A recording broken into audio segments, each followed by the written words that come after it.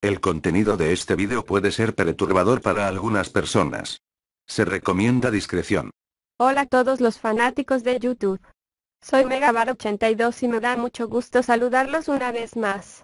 Estoy de regreso con la cabalística parte 13 de Asesinos Seriales, esperando a que les guste.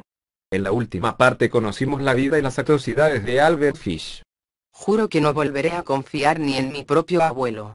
Pero aún tenemos muchos asesinos seriales por conocer. Entonces no esperemos más. Vamos a conocer al siguiente depredador. Juan Díaz de Garallo. Vio la luz por primera vez en Eguilás, provincia de Álava, España, el 17 de octubre de 1821. Fue un hombre humilde que, siguiendo el negocio familiar, se dedicó a ser labrador, pastor y campesino. Emigra a Vitoria, donde en 1850 se casa con su patrona, una viuda conocida como la Surrumbona. Fue un matrimonio feliz donde concibieron tres hijos. Desgraciadamente, la zurrumbona falleció 13 años después, y Juan comenzó a dedicar más tiempo al trabajo que a sus hijos. Es por esto que Garallo decide contraer segundas nupcias. No obstante, su nueva esposa tenía un carácter áspero y agresivo. Los hijos de Juan poco a poco abandonaron el hogar, volviéndose vagabundos. Y también afectó a Garallo, ya que es en esos años perdió totalmente el afecto a sus hijos y a su familia. Llegó un momento en que lo único que le importaba era conseguir dinero para embriagarse o contratar placeres carnales. Es entonces cuando comienza su carrera criminal. En 1870, atacó a una prostituta a las orillas del río Errecatchiqui. La asfixió hasta matarla, después la violó y la destripó. Este sería su modus operandi y victimología. Fingía contratar los servicios de prostitutas y las llevaba a un lugar solitario. Después regateaba el precio, esperando a que su víctima le reclamara no estar de acuerdo. En medio de dicha discusión, Garullo le atacaba tomándola del cuello o clavándole un punzón. A veces la dejaba viva para violarla o torturarla pero al final todas corrían la misma suerte. Eran asesinadas, y sus entrañas arrancadas con violencia. Incluso llegó a amputar algunos de los miembros. Poco después, y quizás por ser más vulnerables, Juan comenzó a atacar niños.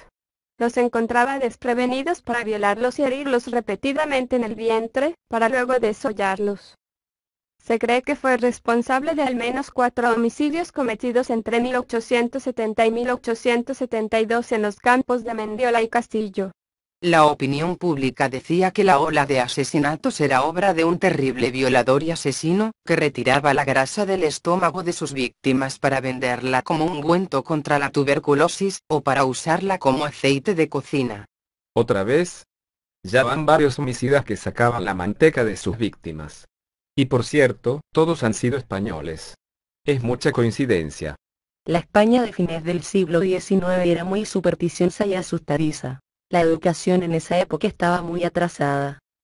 Se pensaba que la grasa humana se ocupaba como lubricante de ferrocarril, como aceite para cocinar, o como medicamento para muchas enfermedades.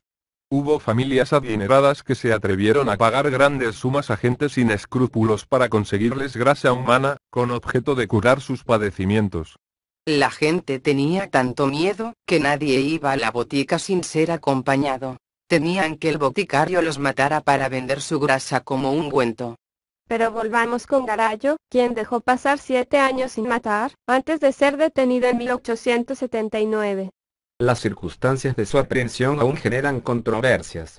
Algunos autores dicen que fue capturado infraganti mientras atacaba a dos mujeres. Otros que fue reconocido en la calle por una niña, que no lo había visto jamás, pero que gritó que ese hombre parecía ser el temible sacamantecas. Su apariencia no era agradable. La forma de su cabeza era irregular, su frente angosta y corta, y sus ojos pequeños y viscos. Era casi calvo, y tenía nariz alargada y abultada en la punta. Durante el juicio, aseguró que cometió los crímenes por orden del diablo. El sacamantecas fue encontrado culpable, y ajusticiado en el garrote vil el 11 de mayo de 1881.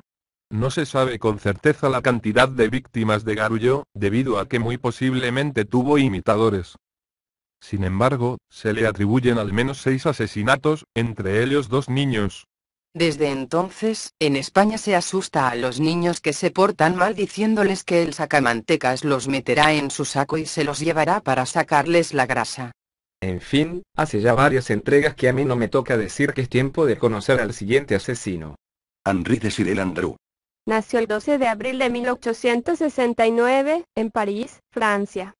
Cuando tenía 20 años tuvo que casarse con su prima hermana, a causa de un embarazo no deseado. La necesidad de mejorar su nivel de vida lo llevó a convertirse en estafador. Algunos delitos menores entre 1902 y 1914 le valieron tres penas de cárcel consecutivas, lo que provocó que su padre, avergonzado por el comportamiento de Henri, se quitara la vida. Una de estas condenas fue por robar 20.000 francos a una viuda, quien lo denunció a la policía. Esta experiencia le ayudó a planear una forma de enriquecerse, pero asegurándose de no volver a ser denunciado.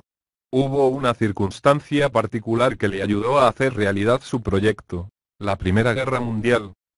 Cientos de soldados morían diariamente en los campos de batalla. Alguien tenía que consolar a las pobres viudas francesas que colocaban anuncios matrimoniales en los periódicos. ¿Quién mejor que un joven y atractivo caballero parisino? Landru decidió publicar sus propios anuncios. Se presentaba como un hombre viudo, de 43 años, solvente, afectuoso, serio y en ascenso social y económico, que buscaba conocer a una mujer viuda con fines matrimoniales. Vaya, quiero responder ese anuncio. Henry recibió cientos de propuestas. Seleccionaba las que le parecían más interesantes para responder sus mensajes y recabar más información. Su primera víctima fue Ginny Cuchet, una linda viuda de 39 años, y su hijo André de 17. Landru se apropió los 5.000 francos que tenían ahorrados, y posteriormente madre e hijo desaparecieron. Su siguiente objetivo fue Madame Labordelin, viuda aún más adinerada que Cuchet.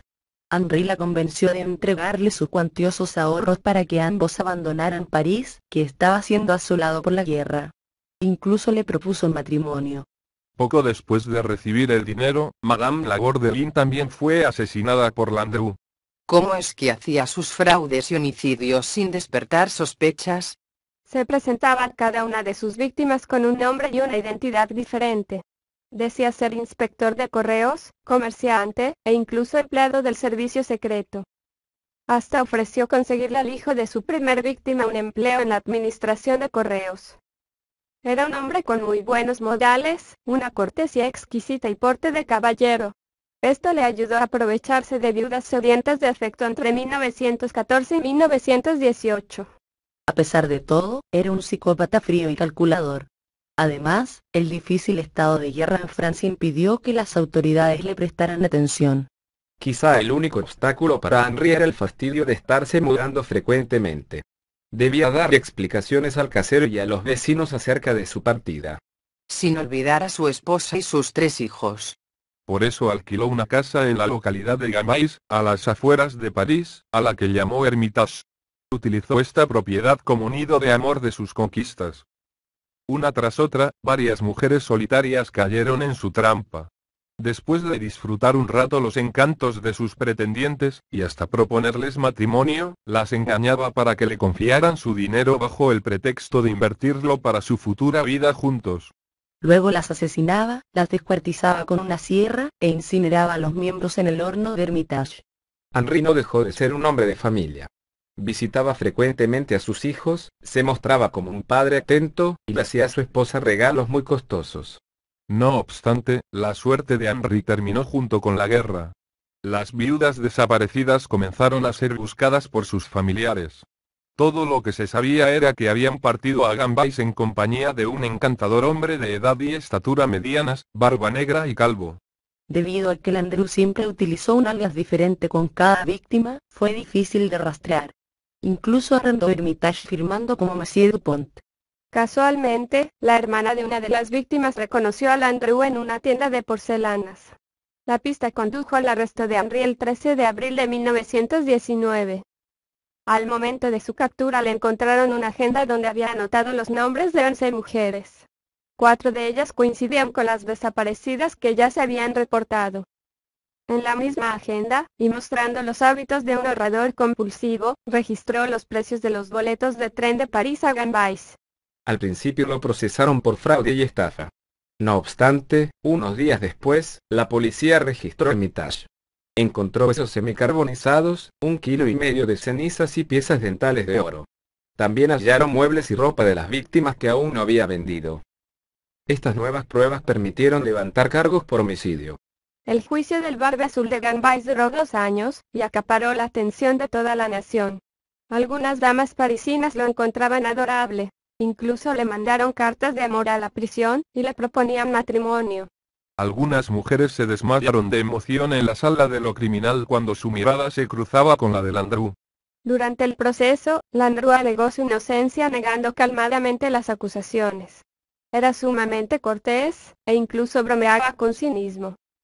No obstante, fue encontrado culpable y condenado a muerte. Se dice que al escuchar la sentencia, se volvió a su abogado diciendo que su causa era difícil, o más bien desesperada, y que no era la primera vez que condenaba a un inocente. Cínico y mentiroso hasta el final. Y al mismo tiempo seductor. Y aún más, ya que aunque se le imputan oficialmente 11 asesinatos, la policía pensó que era responsable de entre 117 y 300 muertes pero no hubo forma de comprobar esas sospechas. Landru nunca reveló la verdad sobre sus crímenes, ni facilitó ninguna información que pudiera esclarecer su caso. Henri Desiré fue guillotinado el 22 de febrero de 1922. Se dice que su cabeza cercenada aún conservaba esa mirada seductora que había conquistado a las mujeres francesas. Su siniestro encanto y su letal estilo suave y atractivo han sido la inspiración de numerosas películas e historias de estafa, muerte y seducción. Bueno amigos locuenderos, espero que hayan disfrutado mucho esta entrega de asesinos seriales. También espero verlos pronto en el siguiente video. Saludos, y hasta la próxima.